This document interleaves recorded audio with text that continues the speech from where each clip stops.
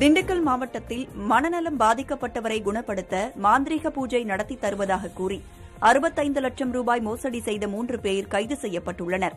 வத்தலகுண்டு பகுதியைச் சேர்ந்தவர் அருள்மணிகண்டன். மனநலம் பாதிக்கப்பட்ட இவரை குணப்படுத்த அவரது மனைவி பிரியதர்ஷினி பல முயற்சிகளை மேற்கொண்டு வந்துள்ளார்.